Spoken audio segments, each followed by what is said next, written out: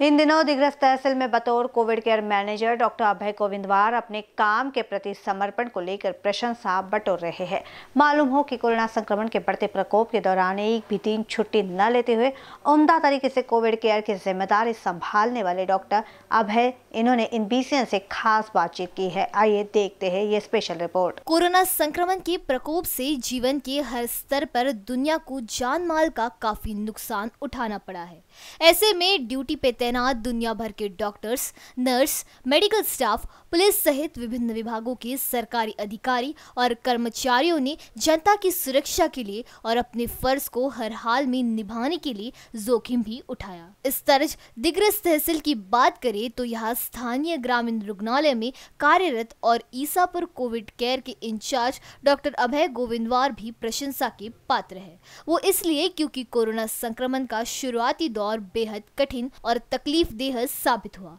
ऐसे में शुरू से लेकर हाल के दिनों तक का डॉक्टर अभय ने बगैर कोई छुट्टी लिए अपनी निष्ठा और काम के प्रति ईमानदारी को बखूबी से निभाया। इन बीसीए ने इस बाबत उनसे बातचीत की है। जब से मैंने वो कमान संभाली, तब से मैंने एक ही सोचा था कि ये जो संकट आया, जैसे अपने जो सैनिक लोग रहते, जैसे अपने देश पे कुछ आपत्ति आए तो बिल्कुल जान देने के लिए तैयार है, वैसे मैं उतरा था उसमें। और उसमें मैंने सब पूरा मैंने जैसे शुरू में जैसे मेरे हाथ में आया तो मैंने से कभी नहीं बोला नहीं। इसमें बहुत जन ड्यूटी करने के लिए घबरा रहे थे।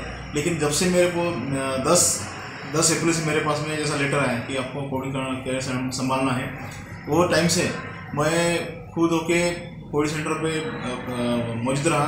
और अप्रैल मई जून और जुलाई ये महीने में, चार महीने में करीबन 12 से 15 घंटे काम किया।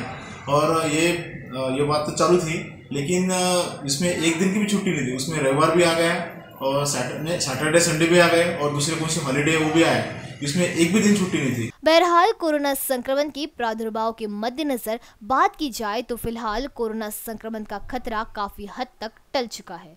फिर भी कोरोना को हल्के में न लेते हुए मास्क सैनिटाइजर का इस्तेमाल जारी रखना ज़रूरी है ऐसा सुझाव भी इस दौरान डॉक्टर अभय ने दिया। साथ ही फ़िलहाल दिग्रज शहर और कोरोना संक्रमण की स्थिति पर भी उन्होंने जानकारी दी है। अभी फ़िलहाल में जो टोटल आंकड़ा है तो नौ नौ सौ सैंतीस का है। उसमें अभी तक इतने लोग पॉजिटिव हैं उसमें रैपिड और आर टी पी सी दो आर टी पी सी और रैपिड दोनों का है। और अभी तक जो दूसरे दस तारीख का जो अपडेट आया है सॉरी ग्यारह तारीख का जो अपडेट आया हुआ है, उसमें तीन लोग पॉजिटिव है उसमें महागांव तालुका का एक पुरुष है और लक्ष्मी नगर का एक पुरुष है और एक पुरुष की और एक पुरुष है। एड्रेस पता नहीं मुझे। ऐसे तीन लोग पॉजिटिव आर में और रैपिड में नेगेटिव आए थे। फ़िलहाल में तो पोजीशन अपन जैसे बोलते परसेंटेज वाइज थोड़ा सा अभी तीन से चार परसेंट अभी फ़िलहाल में है।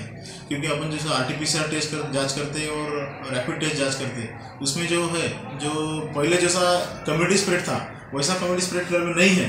जैसा लोग बोल रहे थे कि, या गवर्नमेंट बोल रहे थे, दूसरी लाट आने वाली है। तो दूसरी लाट तो फ़िलहाल में ऐसा लग रहा है कि आने वाली नहीं है। लेकिन अगर सभी लोगों ने एस एम एस बोलो तो सैनिटाइजर मास्क और सोशल डिस्टेंस अभी भी ऐसा काबू में रखा तो ये कोरोना को पूरा मात कर सकते हैं। बहरहाल, आजकल देश भर में कोरोना वॉरियर्स के योगदान के चलते ही कोरोना प्रादुर्भाव का असर काफ़ी कम नज़र आ रहा है। दिग्रस तहसील के कोरोना वॉरियर्स की सूची में डॉक्टर अभय का योगदान भी काबिले तारीफ़ है। दिग्रस से एनबीसी न्यूज़ के लिए जुबेर खान की रिपोर्ट।